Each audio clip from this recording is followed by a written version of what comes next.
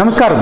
YS Jaganmohan Reddy గారు నూట డెబ్బై ఐదుకు నూట డెబ్బై ఐదు సాధించాలని చెప్పి ఈ ఎలక్షన్స్లో టార్గెట్ పెట్టుకుని వెళ్తున్నారు. నూట డెబ్బై ఐదుకు నూట డెబ్బై ఐదు సాధ్యమా కాదా అనే దానికి ప్రతి ఒక్క దాంట్లో ప్రతి ఒక్క నియోజకవర్గంలో ఏమేం జరుగుతుంది గెలుస్తామా ఓడిపోతామా అనే లెక్కలు క్లియర్గా మీ ముందుకు తీసుకొస్తాను. ఆ భాగంలో అసలు పార్టీ నూట డెబ్బై ఐదు గెలవాలంటే ఏం చేయాలి అనే దాని మీద ఒక చాలా క్లియర్ కట్ స్ట్రాటజీ అయితే ఫాలో అవుతారు. ఎవరికైనా కానీ ఎక్కువ సీట్లు సాధించాలంటే ఏం చేయాలి అనే దాని మీద ఫాలో ఫాలో అవుతారు. వాస్తవానికి నల్ నలభై తొమ్మిది పర్సెంట్ నుంచి యాభై ఒక్క పర్సెంట్ మధ్యలో వైఎస్ఆర్సీపీకి మనం రెండు వేల పంతొమ్మిదిలో ఓట్లు వచ్చినప్పుడు తెలుగుదేశానికి వైఎస్ఆర్సీపీకి ఉండే తేడా ఇరవై మూడు సీట్లు తెలుగుదేశంకి వస్తే నూట యాభై ఒకటి జగన్మోహన్ రెడ్డి గారికి వచ్చినాయి. సో దీన్ని మనం ఇంకొంచెం పర్సంటేజ్ యాభై మూడు పర్సెంట్ సాధిస్తే యాభై మూడు పర్సెంట్ సాధిస్తే ఏమవుతుంది అంటే దాదాపు ఇప్పుడున్న నూట యాభై ఒకటికి ఇంకొక ఏడెనిమిది సీట్లు పెరుగుతాయి. అంటే నూట యాభై ఒకటి ప్లస్ ఏడు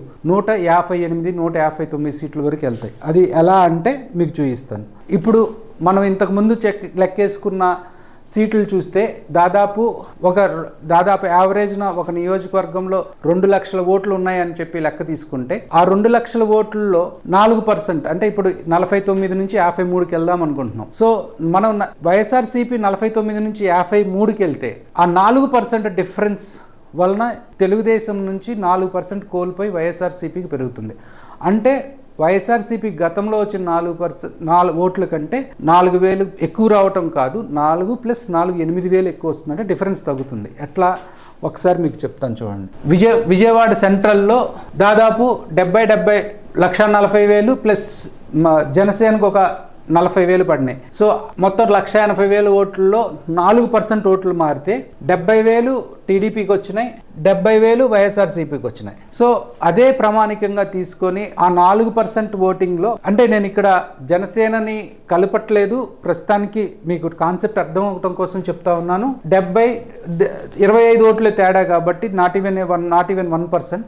So ఇక్కడ ఏమవుతుందంటే నాలుగు పర్సెంట్ ఓట్లు పోవటం అంటే టీడీపీకి మైనస్ ఎనిమిది వేలు అవుతుంది. అంటే ఇక్కడ అరవై రెండు వేలు ఓట్లు వస్తాయి టీడీపీకి. సో అదే సిచ్యుయేషన్లో ఈ ఎనిమిది వేలు ఓట్లు అటుపడటం వలన ప్లస్ ఎనిమిది అవుతుంది. డెబ్బై ఎనిమిది. డెబ్బై ఎనిమిది అరవై రెండు. అంటే పదహారు వేల ఓట్లు తేడా వస్తుంది. నాలుగు పర్సెంట్ ఓట్లు మారటం వలన పదహారు వేల ఓట్లు మారుతుంది. అప్పుడు పదహారు వేల ఓట్లు మారినప్పుడు ఏమేమి ఇంపాక్ట్ వస్తుంది అనేది మనం లెక్కల్లోకి తీసుకుంటే పదహారు వేల్లో తెలుగుదేశం గెలిచిన తెలుగుదేశం వాళ్ళందరూ ఓడిపోతారు. కరెక్ట్గా బాలకృష్ణ గారి వరకు ఓడిపోతారు. ఇక గెలిచిన బాలకృష్ణ కర్ణం బలరామకృష్ణమూర్తి వరకు ఓడిపోతారు. అంటే ఇంకా మిగిలేది నిమ్మకాయల రామానాయుడు విశాఖపట్నం వెస్ట్ వెలగపూడి రామకృష్ణ ఆదిరెడ్డి భవానీ చంద్రబాబు నాయుడు ఒక ఆరుగురు ఏడుగురు మిగులుతారు. సో ఇలా ఇలా చేయగలగటానికి జగన్ గారు వేస్తున్న స్ట్రాటజీ ఏమైనా ఉందా అని మనం లెక్కల్లోకి తీసుకుంటే హైయెస్ట్ మెజారిటీ వచ్చింది పులివెందుల. మనకందరికీ తెలుసు. పులివెందుల. సో లీస్ట్ మెజారిటీ వచ్చింది ఇక్కడ మన విజయవాడ సెంట్రల్ అనుకున్నాం. సో ఈ ఈ మధ్యలో ఉన్న వాళ్ళంతా ఉంటారు. సో దీన్ని ఇక్కడ ఇక్కడ నుంచి కిందకున్న సీట్లు ఏవైతే ఉన్నాయో ఒక ఏడెనిమిది సీట్లు వాటిని కూడా పైకి తీసుకురావాలి. ఇది ఒక క్యాలిక్యులేషన్ లేదంటే ఇట్లా ఓ ఓటింగ్ని ఇలా పెంచగలగాలి. దీన్ని ఇలా పెంచగలిగితే ఇక్కడ యాభై మూడు పర్సెంట్ వస్తుంది.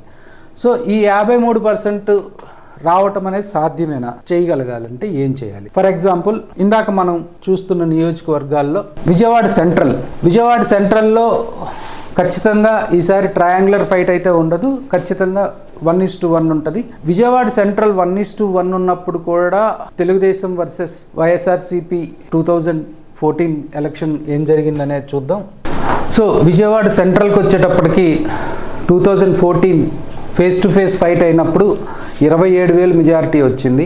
కానీ టూ థౌజండ్ నైన్టీన్కి వచ్చేటప్పటికి అదే విజయ ఓటింగ్ రాలేదు. ఇక్కడ పన్నెండు వేలు ఉమామహేశ్వరరావు గారికి తగ్గింది. బొండం ఉమామహేశ్వరరావు గారికి ఎనభై రెండు వేల నుంచి ఆ డెబ్బై వేలకు వచ్చింది గౌతమ్ రెడ్డికి వచ్చినప్పుడు యాభై ఐదు వేల నుంచి డెబ్బై వేలు మల్లాది విష్ణు గారికి పెరిగింది. వేరియస్ అదర్ రీజన్స్ కూడా ఉంటాయి. కానీ ఇక్కడ ప- పరిస్థితి ఏమంటే కొన్ని కొన్ని విషయాలు మనం క్లియర్గా చూసినప్పుడు there is a there is always a factor which definitely goes ఇక్కడ జనసేన అలయన్స్లో చిగురుపాటి బాబురావు గారికి ఇరవై తొమ్మిది వేలు వచ్చినాయి సో ఈ ఇరవై తొమ్మిది వేలే ఇక్కడ క్రూషియల్గా ప్లే చేసిందనేది కూడా ఒక క్యాలిక్యులేషన్ సో ఇలాంటప్పుడు ఈ నియోజకవర్గంలో జగన్ గారు వాడుతున్న స్ట్రాటజీ ఖచ్చితంగా మనం క్లియర్గా మళ్ళీ ఒక వీడియోలో ఖచ్చితంగా చెప్తాను. అయితే దానికంటే ముందు తిరుపతి తీసుకు తిరుపతి కూడా సేమ్ అదే సిచ్యువేషన్ ఉంటుంది. ట్రయాంగులర్ ఫైట్ ఇద్దరికి ఉంటుంది. రాజోలు ఉండదు గన్నవరం ఉండదు కొండేపి ఉండదు పొన్నూరు ఉండదు. ఎందుకోసం అంటే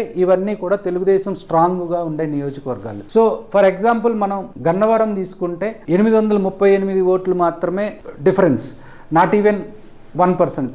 Closely around half percent voting తేడాతోటి ఇద్దరి మధ్యలో తేడా వచ్చింది. సో లక్ష ఓట్లు లక్ష లక్ష రెండు రెండు లక్షల ఓట్లకి ఎనిమిది వందల ముప్పై ఎనిమిది అంటే నాలుగు వందల యాభై ఓట్లు నాలుగు వందల పదిహేడు ఓట్లు కనుక మారున్నట్టయితే అటు అటు పడాల్సింది నాలుగు వందల ఇరవై నాలుగు వందల పంతొమ్మిది ఓట్లు అటు పడాల్సింది ఇటు పడితే విష్ణు గారు ఓడిపోయి ఉండేవాళ్ళు. సో ఇలాంటి నియోజకవర్గాల్లో స్ట్రాటజీ క్లియర్గా ఏం వాడుతున్నారు అంటే ఖచ్చితంగా అక్కడ ఉన్న తెలుగుదేశం క్యాండిడేట్ని వీక్ చేయాలి. యార్లగడ్డ వెంకట్రావు వర్సెస్ వంశీ చూసుకున్నప్పుడు వ్యక్తిగతంగా చూసుకున్నప్పుడు వంశీ గారికి ఖచ్చితంగా జనాల్లో కాంటాక్ట్స్ ఉంటాయి. రెండు సార్లు ఎమ్మెల్యే. అఫ్ కోర్స్ వైఎస్ఆర్సీపీ వాళ్ళు యాక్సెప్ట్ చేస్తారా లేదా అనేది ఒక డెఫినెట్గా ఆలోచించాల్సిన విషయం. కానీ ఇంటర్నల్గా కార్యక్రమాల వారీగా ఏం చేస్తున్నాం అనేది కూడా తెలుసుకోగలగాలి. అలా అలా చేస్తున్న వాటిల్లోనే Jagananna housing more important. Jagananna housing అనేది ఇవాళ వరకు మనకి చూసినప్పుడు దాదాపు నాలుగు వేల నుంచి ఐదు వేల ఇల్లు ఆల్రెడీ గన్నవరం నియోజకవర్గంలో కన్స్ట్రక్షన్ జరిగిపోయింది. దాదాపు ఇరవై వేల ఇల్లు శాంక్షన్ చేశారు ఆ నియోజకవర్గానికి.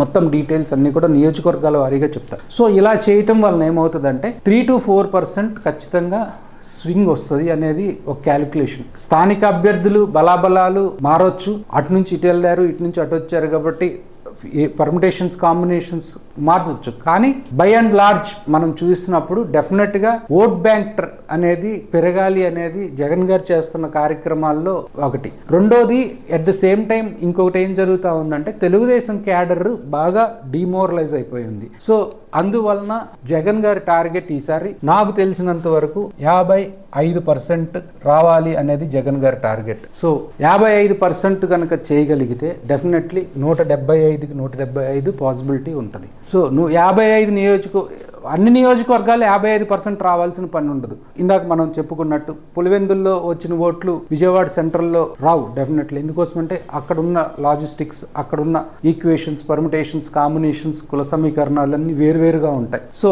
by and large state మొత్తం మీద యాభై ఐదు పర్సెంట్ కనుక తెచ్చుకోగలిగితే నూట డెబ్బై ఐదుకి నూట డెబ్బై ఐదు వచ్చి తీరుతాయి. సో రాబోయే వీడియోల్లో క్లియర్గా ప్రతి నియోజకవర్గంలో క్యాండిడేట్ వారీగా బలబలాలు ఎలా ఉన్నాయి ఏం జరుగుతుంది అనేది మీకు క్లియర్గా ఎక్స్ప్లెయిన్ చేస్తా. థ్యాంక్ యూ ఈ వీడియో కనుక మీకు నచ్చితే లైక్ చేయండి. మా ఛానల్ని సబ్స్క్రైబ్ చేసుకోవడం మాత్రం మర్చిపోకండి.